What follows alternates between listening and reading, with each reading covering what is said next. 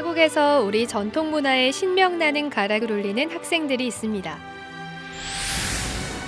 우리의 말과 글, 역사를 배우며 한국인의 정체성을 잃지 않고 살아가는 일본 속 민족 학교 학생들.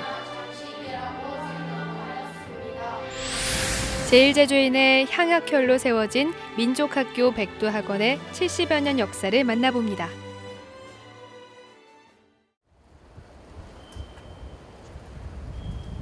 일본의 제2도시 오사카. 이곳에는 유치원과 초등 고교 학생들이 같은 교문, 같은 운동장을 쓰며 하늘타리 속에서 한국을 배우는 학교가 있습니다. 광복을 맞은 이듬해 제일제주인 1세대 사업가 고 조규훈 선생을 초대 이사장으로 출범한 민족교육의 요람 백두학원 건국학교입니다.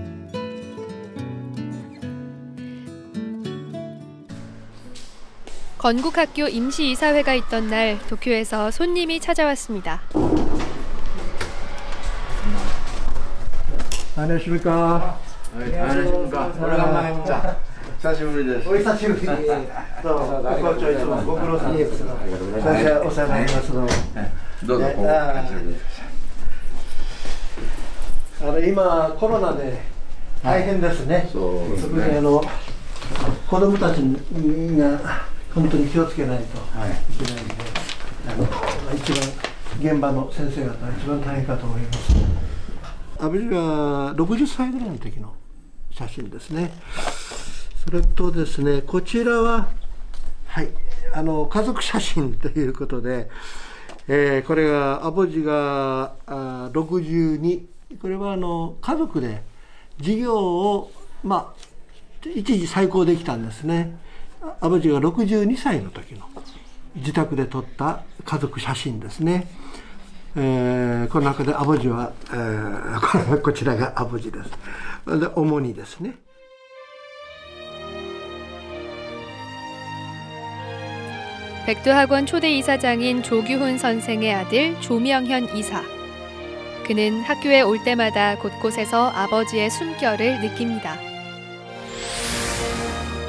1945년 해방을 맞아 일본에서도 우리 동포들은 광복의 기쁨을 만끽했습니다. 이들은 일본의 억압과 차별 속에서도 일본의 선진 기술을 익혀 해방된 조국을 부흥시키자는 일념으로 뭉쳤는데요. 제주 출신 사업가 조규훈 선생은 초대 교장 이경태 선생과 백두 동지회를 중심으로 동포들과 십시일반 돈을 모으고 꿈에 그리던 민족학교를 오사카에 세웠습니다. 전쟁 후에 혼란한 틈바구니 속에서 폐교의 위기를 맞기도 했지만 일본 사회 속에서 당당히 민족 교육의 기틀을 다져나갔습니다.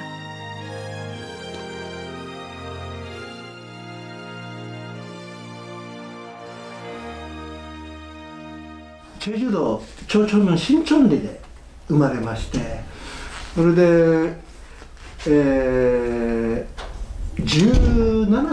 まあ、満でいう17歳の時に日本に出てきたんですね、えー、アボジのおもりが、えー、7歳の時に、まあ、何か事情があったんでしょうね。他のうちに嫁に行ってしまったと。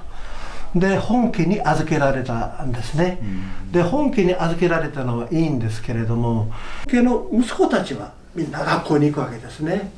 それでそれを見て悔しくて悔しくてですね。でよしということで、えー、10万17歳の時に日本に出てきた 학업의 뜻을 품고 어린 나이에 일본으로 건너간 조규훈 선생. 일본에서의 현실은 녹록지 않았고 그는 고무 공장에 일자리를 얻어 악착같이 돈을 모아 작은 회사를 차렸습니다. 5개월인 끈기로 마침내 그는 조국의 광복을 전후해 큰 사업가로 명성을 날리게 되는데요.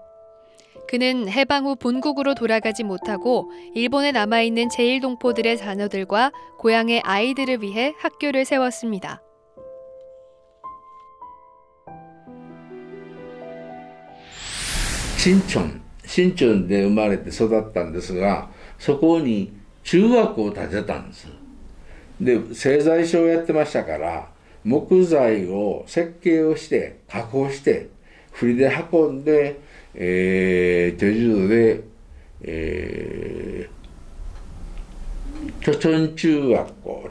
貯村面には学校はなかったんですわ、えー、だからその時はみんなチェジュ市まで歩いて通ったりバス乗って通ったりして遠いんでみんな勉強できないいうことでそれでチョチョンミョンに学校がないから新チョンに作ったけども 名前はチョチョン中学ってつけたわけです。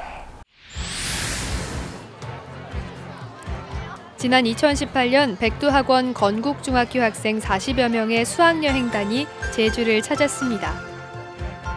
일본 백두학원의 설립자이자 제주 조천중학교를 설립한 조규훈 선생의 묘비를 참배하고 조천중학교를 방문해 제주의 학생들과 교류의 시간을 가졌습니다.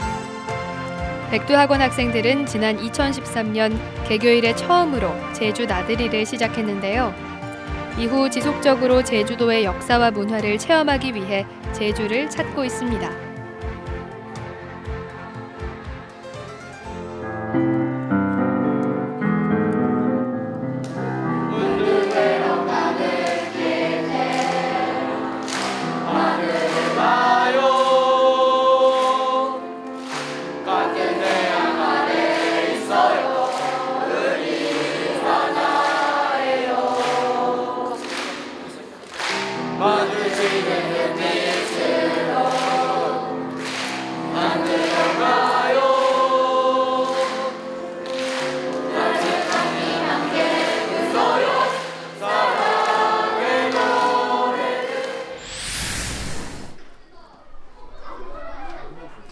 아쉽게도 코로나19 여파로 몇 년간 건국학교와 제주의 교류는 잠시 멈췄습니다. 건국학교 학생들은 마스크를 쓴 채 차분히 학교 생활을 이어가고 있는데요. 조명현 이사가 교장 선생님과 함께 초등학교 교실을 찾았습니다. 자, 의조 앞으로 나오세요. 자, 사진 자. 뒤로 가야 돼요. 재밌고요.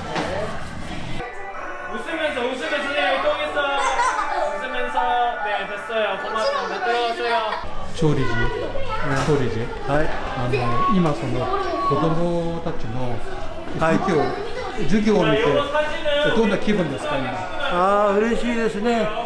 とてもね、とても子供たちが可愛いです。私が教えたいぐらいです。はい。もしあの今のこの状況を、はい、あのお父さんが生きてて これを見てたらどういうふうに思うと思いますか？アボジは涙がもろいアボジでした。もうここはいっぱいになると思いますね、うん、はい。あのやっぱりあのこういった光景を見ると、はい、日本において民族教育は大はい、大切だというふうに思ってますか？どういうふうに思ってますか？ああもちろん大事です。これはねあのー、子ど子供たちが先に先ほどちょっとお話ししたようにいろんなねあの日本人だろうがどこの国の人たちだろうが結婚していってもですね自分は韓国なんだ韓国に血があるんだという気持ちをしっかり持っていただけるんじゃないかと思いますね。はい 개교 2년 후인 1948년 건국학교 문예제가 열리던 현장. 백두학원이 교육에서 중요시하는 것 중에 하나가 바로 한국의 전통 문화 교육인데요. 당시 학생들이 무대에서 연극 심청전을 선보이고 있습니다. 건국학교 문예제는 지금까지도 70여 년 넘게 이어지는 유서 깊은 학교 축제로 학생들에게 한민족의 정체성을 일깨우고 있습니다.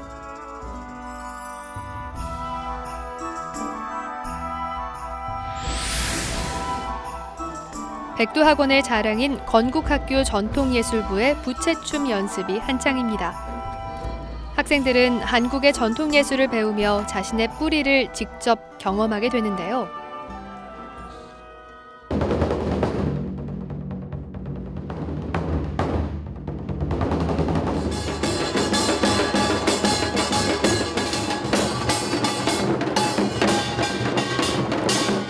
제일 한국인들이 한국을 기억하고 자부심을 갖도록 기여하는 건국학교 학생들. 일본 이주 지난 100년의 세월 속에서 제일 한국인의 문화를 만들고 1세대들의 건학 이념의 뜻을 잇고 있습니다. 그 물론 우리, 우리 학교가 민족 학교이니까 한국어, 한국 역사, 한국 문화를 계속 해야 하는 것을 저도 깊이 알고 있습니다. 에, 저도 이, 에, 이사장님이 에, 가 에, 앞으로 이 학교를 에, 이런 에, 교육을 해야 한다. 그런 목적으로서 에, 이 학교를 장려하고 계시니까 저도 그 조대 이사장님, 교대 조대 교장 선생님 마음을 에, 깊이 에, 계속 해야 한다고 에, 생각하고 있습니다. 일제강점기와 해방 이후의 혼란기 속에서 향하결의 꿈을 접어야 했던 1세대들. 그들은 한국의 징용 청년들에게 기술을 가르치고 고향으로 돌아가서 인재로 성장할 수 있도록 일본의 민족 학교를 세웠습니다. 또 2세대들이 일본에 살더라도 우리말과 우리 역사를 알고 민족 의식을 갖춘 한국인으로 자라기를 누구보다 간절히 바랐습니다.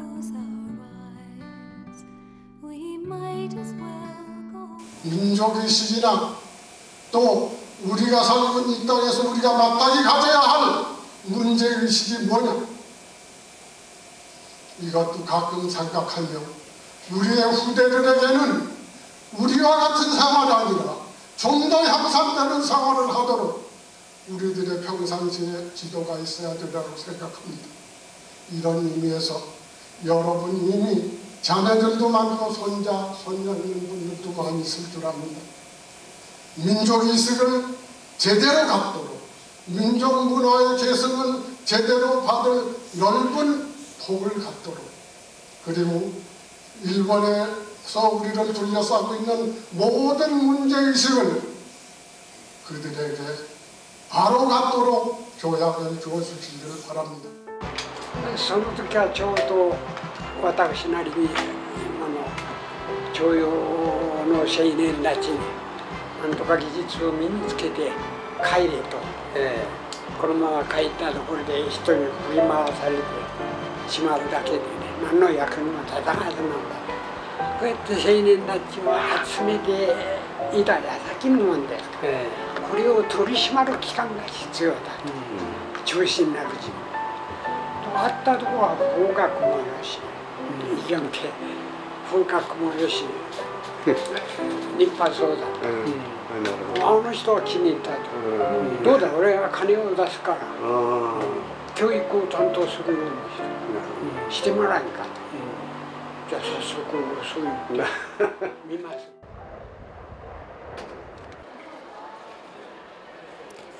지난 2019년 일본에서 반가운 손님들이 제주를 찾았습니다. 탐라문화제 참가를 위해 제주를 방문한 건국학교 전통예술부 학생들입니다. 건국학교와 자매 결연을 맺은 오현고등학교에서도 마중을 나왔습니다. 저는 처음이 아니라 여기가 고향이라서 어릴 때 왔습니다. 네, 그, 그 옛날보다 더 예쁘게 네, 보이거든요. 네, 보였어요. 네, 너무 좋았어요.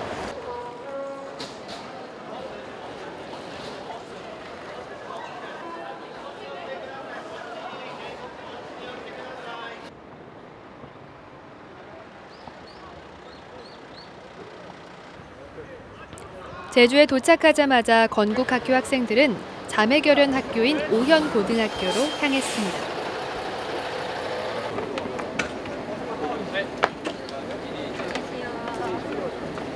좋았어요. 기분이 좋았고 네. 너무 열심히 해야 된다는 마음을 들었어요. 공연복으로 갈아입고 악기를 들고 오는 건국학교 학생들. 오늘 두 학교가 문화교류 무대를 펼친다고 합니다.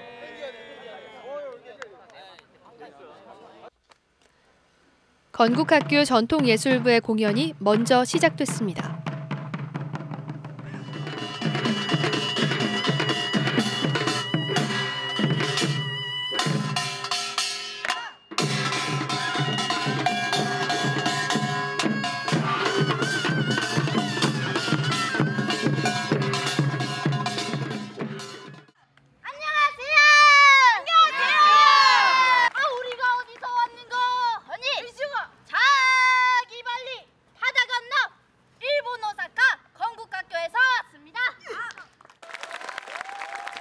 이 팀은 일본에서도 막강한 사물놀이 실력을 자랑하고 있는데요.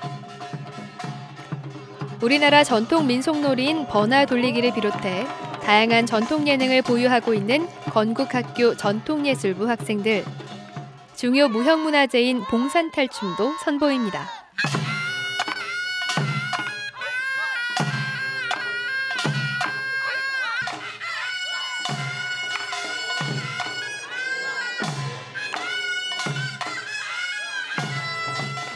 제주의 학생들도 놀랄 만큼 실력들이 수준급인데요.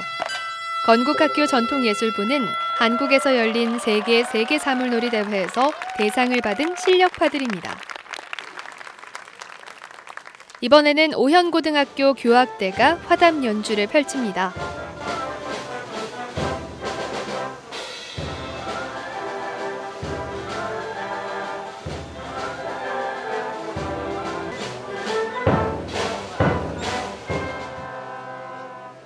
나고 자란 곳도 다르고 오늘 처음 만났지만 학생들은 서로를 응원하며 한층 가까워졌습니다.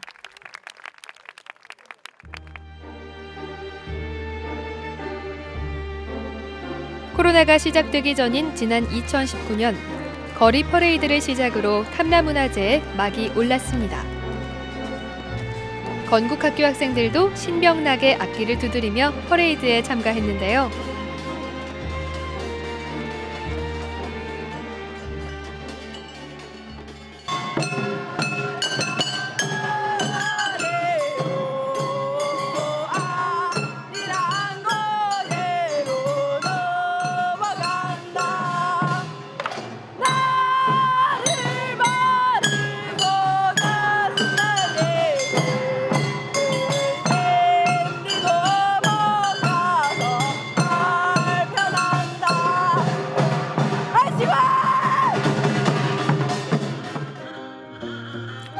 목청껏 노래하고 공연을 펼치는 건국학교 학생들에게 시민들도 힘찬 응원을 보냅니다.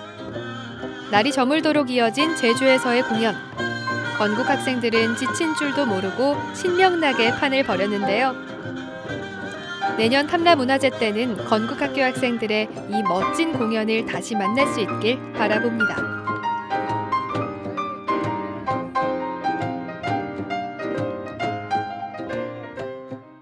そうですね、えー、やはり、えー、私は2世になるわけです。私の子供は3世4世。おそらく日本社会でどんどんとハンクサラムの血は薄くなってくると思います。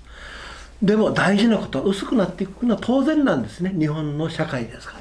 ただ大事なことは自分は ハングサランのルーツを持ってるんだということをしっかりと自覚するそれが大事だと思いますそれが一番です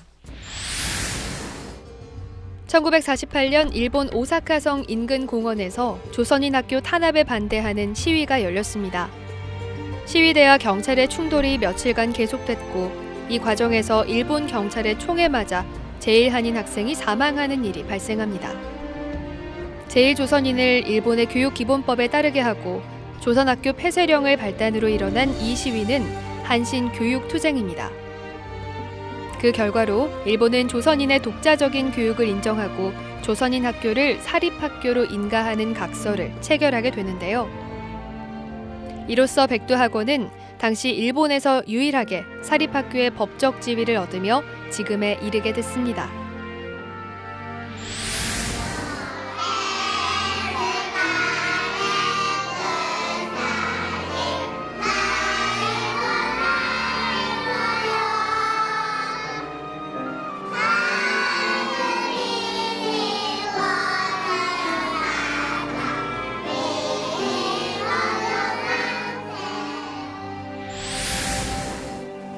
해방이 되자 조규훈 선생을 중심으로 강제징용됐던 제주 사람들이 모여 만든 백두동지회. 검은 머리가 흰 머리가 될 때까지 봉사를 결의한 사람들은 해방된 조국의 재건을 위해 민족학교인 백두학원의 역사를 이룩했습니다. はい、私はね、今でも誰を 一番尊敬してますかと言われるとアボジ はっきり言います。じゃあ何もかも素晴らしいアボジかというとそうでもなかったんですね。二号さんもいましたし一時ね。でも教育者としてやはりアボジが、えー、昔十分に教育を受けられなかった。それをなんとかこれからの子どもたちのために受けさせてあげたいというそういう熱い情熱ですね。それは素晴らしかったですね。でやはり授業もアボジが授業だけやってれば多分日本一の授業家になったと思いますでもその前に周りの人のことを考えたんですねそれが素晴らしいです、はい 1세대가 학교를 세우고 2, 3세대가 굳건히 지켜온 자랑스러운 민족학교 백두학원 건국학교. 백두학원을 세운 고 조규훈 선생은 한국과 일본에 도움이 되는 인재를 양성해야 한다고 강조했습니다. 전쟁이 끝난 혼란기 속에서도 조국의 미래를 고민하고 고향을 잊지 않았던 조규훈 선생. 그의 숭고한 정신을 다시 한번 되돌아봅니다.